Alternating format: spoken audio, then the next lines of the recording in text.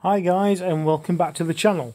Today we're out with the 204 to do some vermin control. We're using the Howa M1500 in 204 calibre. It's topped with the MTC Viper and for recording purposes we'll be using the Pard 007. I'm using 39 grain home loads and I'll also for stability purposes be using the Caldwell stock bag. The first port of call is the livery yard as all the horses are stabled at the minute so the uh, fields are uh, safe to shoot on and then from here we'll be up in the fox box.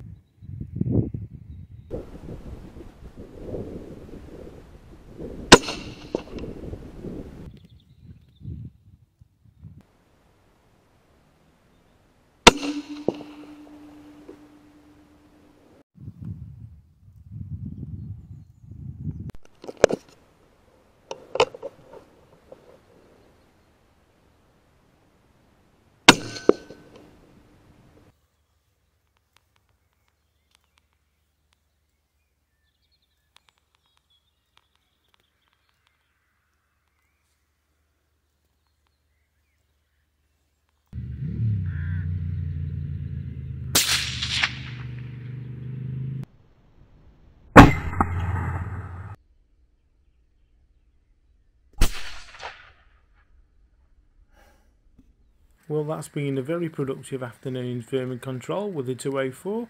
We've got one magpie and five rabbits from down at the livery yard, and we've got another rabbit from up in the fox box. If you've enjoyed the video, please give me a like and subscribe. I'll see you in the next one. Bye for now.